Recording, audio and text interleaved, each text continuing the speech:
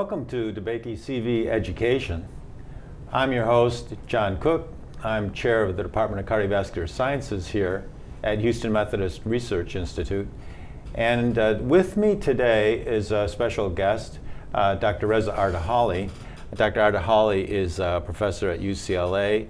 He's a cardiologist, he's a heart failure specialist. He does basic research in cardiovascular regeneration, and we just heard uh, an amazing lecture from him and we'll have a, a little conversation now about uh, uh, the general topic of cardiovascular regeneration, stem cells in the heart. Um, Dr. Ardehali uh, was uh, trained uh, at uh, Emory, Johns Hopkins, at Stanford. He was there as a cardiovascular fellow before he became an associate professor at, at UCLA. welcome to our version of Hollywood. Thank you, Dr. Houston. Cooke. Thank you. Yeah, it's a great pleasure to have you here. Um, so we were talking today about, uh, you were talking today about stem cells in the heart. Uh, can you, you start by telling us a little bit about stem cells generally? Uh, what is a stem cell? Yeah, that, that's a great question. Maybe we can start uh, with the basics of, uh, of, a, uh, of the properties of stem cell and what defines a stem cell. Uh, stem cell is defined by having two unique properties. That one is it's capable of generating daughter cells that are unique and equivalent to, to the parental cell. And the other is it's, uh, a stem cell is capable of differentiating into different tissue types. Mm -hmm. So in order to meet the criteria to be named a stem cell, um, they have to possess these two uh, properties. As far as we know, the cardiac um, in the heart, mm-hmm. uh, we have not been able to identify the, um, the tissue stem cells. Now, the question, uh, one has to ask the question, what are the different types of um, stem cells? And we can go into that. There, uh, the major categories of stem cells are tissue stem cells, meaning that specific organ or tissue has residing stem cells even in, in, in, in an adult organism. So an this, example, is a, this is a stem cell in, in the tissue, in the organ.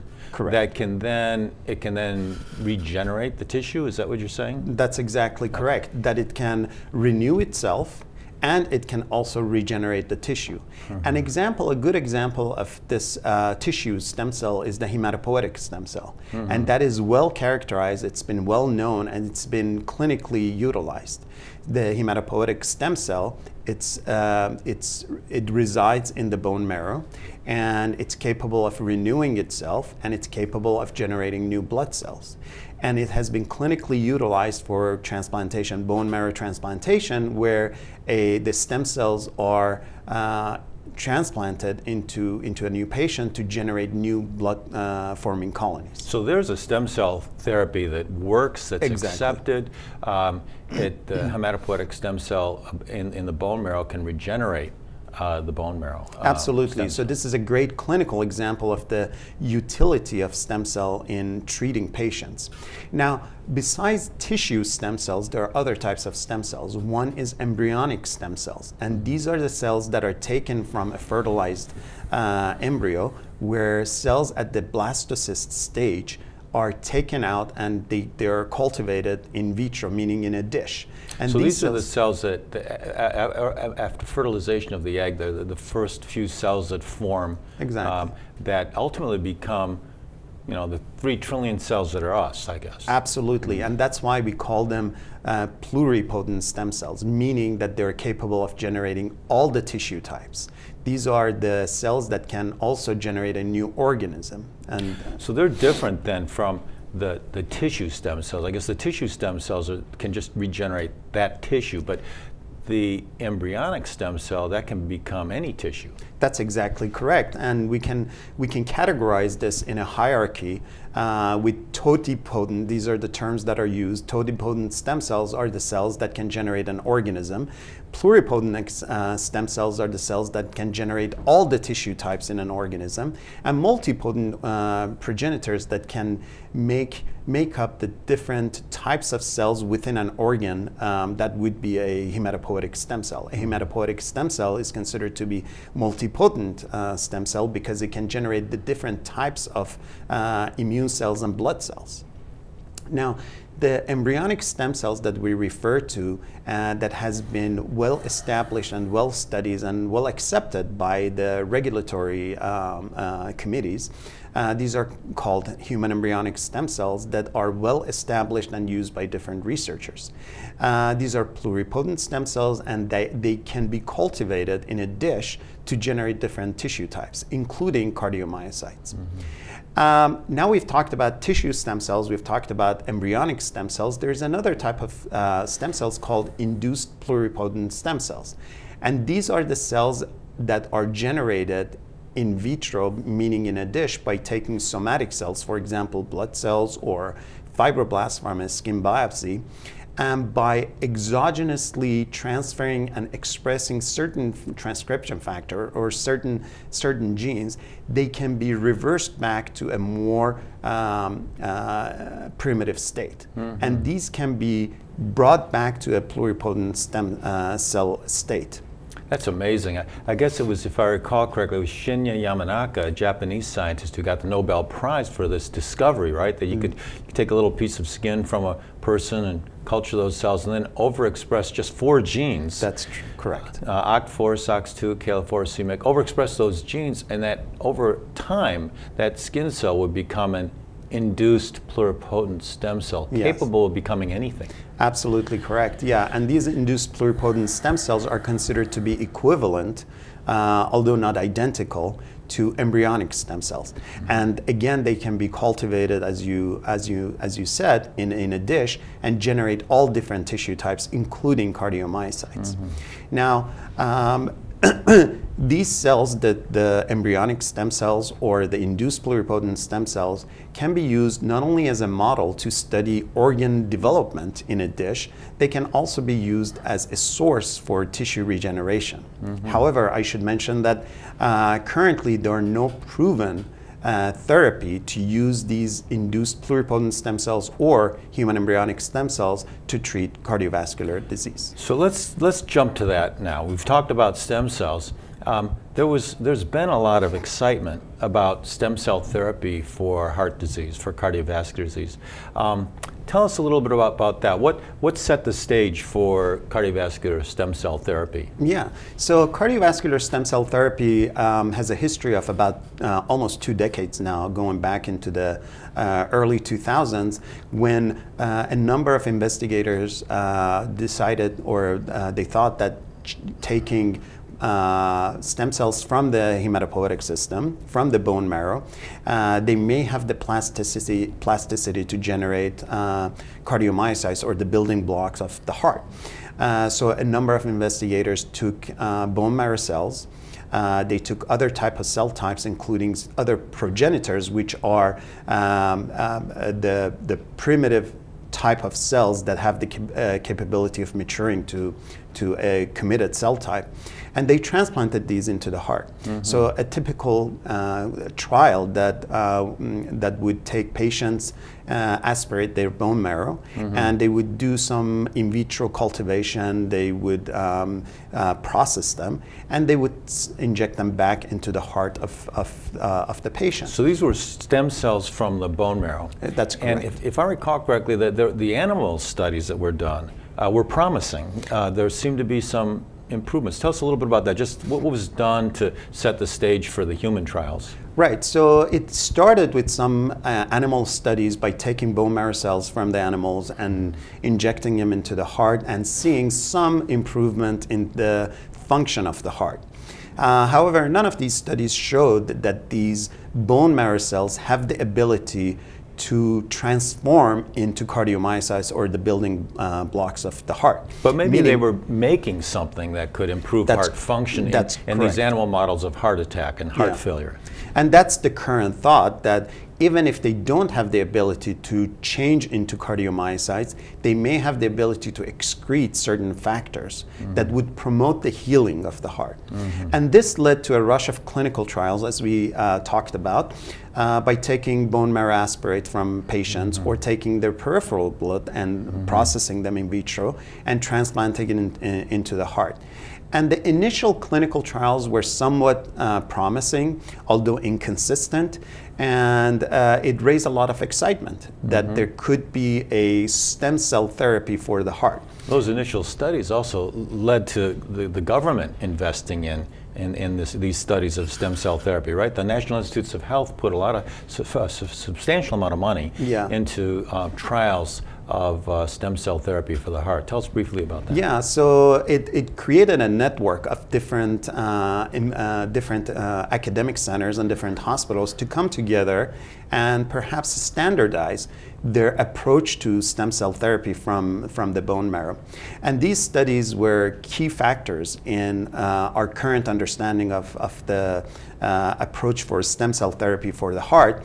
And they showed that the majority of these trials, um, uh, they showed that there was no uh, uh, long-term improvement and no long-term benefit from the transplantation of these cells. So a We lot know- of money, a lot of investigators, a lot of time, uh, and done, carefully done studies Yes. using bone marrow derived cells from the heart, uh, from, from bone marrow derived cells into, Into the heart, heart, yeah. um, failed to show much benefit in people that had a heart attack or people that had heart failure. Yeah, um, that's absolutely correct. And this pro- this process led to standardization of the of the protocols, and it was a very well. These were very well designed experiments. So we did learn a lot trials. about how to do a stem we cell did trial. learn. Yeah, we did learn. But I would say that the biggest uh, takeaway from this is that we learned that these cells from the bone marrow have no ability to become cardiomyocytes. Yeah. They may provide, they may change the microenvironment to promote the healing of the heart, but they don't make new cardiomyocytes. So, so that was uh, disappointing, but we, we learned something. Yes. Um, what's next? So next is the heart, uh, I should say, from a historical perspective, heart was considered to be a terminally differentiated organ, meaning that you're born with certain number of cardiomyocytes uh, in the heart and you die with those numbers. And in, the, in, in your lifespan, in one's lifespan, if there's damage to the heart and you lose cardiomyocytes, that leads to replacement by scar and remodel, adverse remodeling uh, leading to heart failure. But there is new data sh- suggesting that there may be a very, very low rate of cardiomyocytes undergoing division. And this happens mainly during the neonatal period. And one of the areas of uh, intense research is to identify those factors that lead to, lead to uh, re-entry of cardiomyocytes to cell cycle activity, meaning So I guess that what that what, what that means is getting the cells, the heart cells, to start dividing again Exactly. to replace damaged cells. Right. Whereas in, in an adult heart, when the cells die after a heart attack, when the cardiomyocytes uh, die after a heart attack, it's replaced by, uh, by a scar. The hope is the remaining viable cardiomyocytes, if they can be induced to, to undergo proliferation and division, so that they can replace the, the, uh, the injured uh, heart. That's one approach. The other approach that certain investigators, including us, uh, have taken is taking exogenous cells and trying to see if we can make cardiomyocytes in a dish and then transplant them into the heart. And one of the sources that we've used is pluripotent stem cells, whether it's induced pluripotent stem cells or human embryonic stem cells. Uh, and we've started generating cardiomyocytes and we've tried to mature them so that they can be, upon transplantation, they can engraft and integrate with the host myocardium and improve the cardiac function. We're at the stages of doing preclinical studies in large animals, and they are um, they are very promising. However, I should say that this is nowhere close to taking it into uh, clinical practice. Uh, another uh, approach that certain investigators have taken is uh, there are different types of uh, cells in the heart.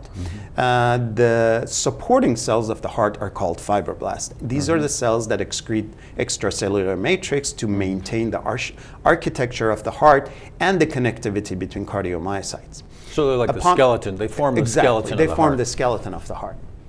But they have an additional role, and that is in response to injury, they get activated and they produce significant amount of extracellular matrix, and they contribute to fibrosis and scar formation. Mm-hmm. Their so numbers these are, these increase. are the cells that form a scar. Exactly. Of, uh, if when a heart is injured. Yeah, these are fibroblasts that form fibrosis and the scar of the heart, and their number increase in response to injury because they are participating in, in scar formation.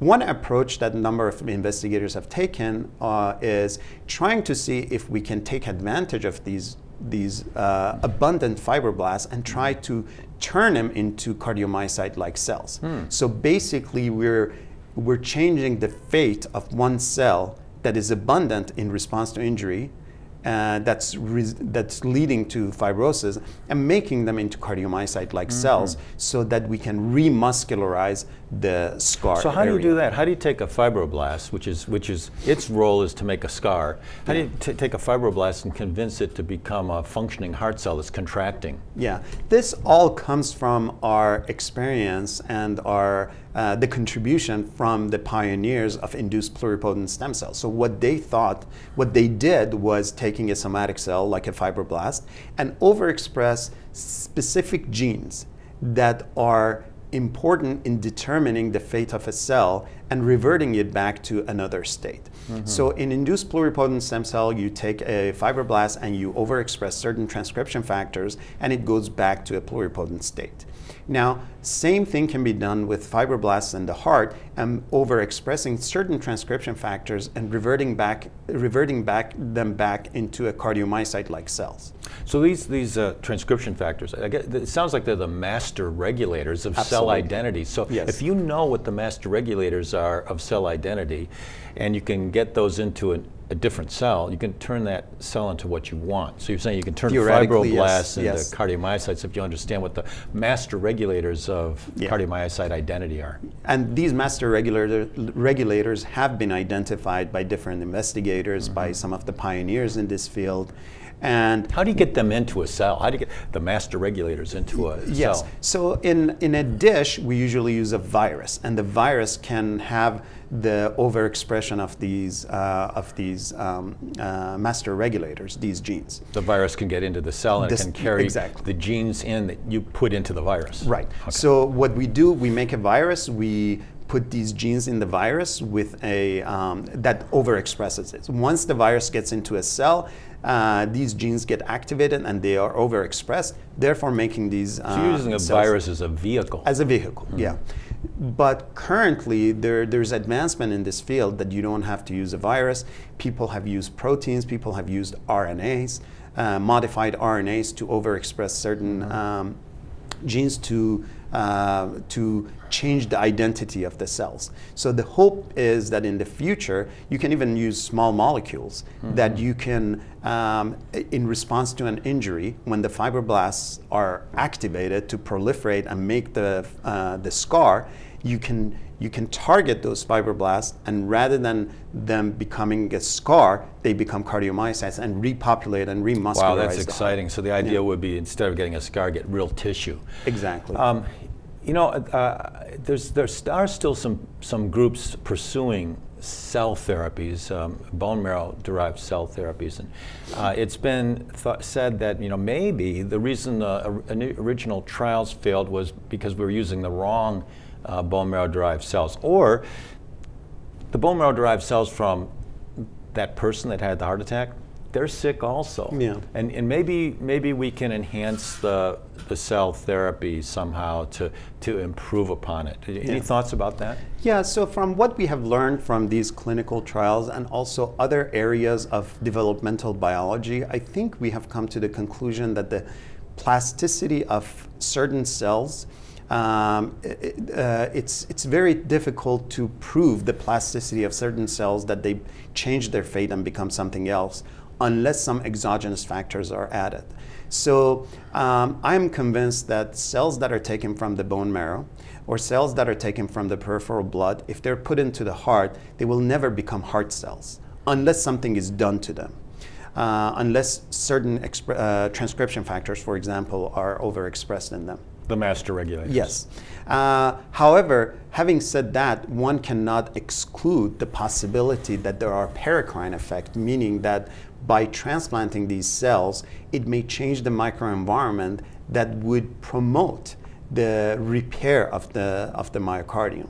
And my hope is that, that our science will advance enough that rather than doing the cell therapy, we can identify Mm-hmm. What are these factors that promote healing? Mm-hmm. And we develop pharmacologic agents that would do the same thing as the, as the cell therapy. Beautiful. Well, it sounds like there's still hope for stem cell therapies. It may take a different form than, than it has in the past. Maybe factors derived from the stem cells, uh, yeah. uh, or maybe modifying the cells that are already there Absolutely. so that they can be become regenerative. Well, this has yeah. been just a, a fascinating uh, to talk to you about this, and and uh, really thank you so much for thank you very much for for having me. Yes, thank you.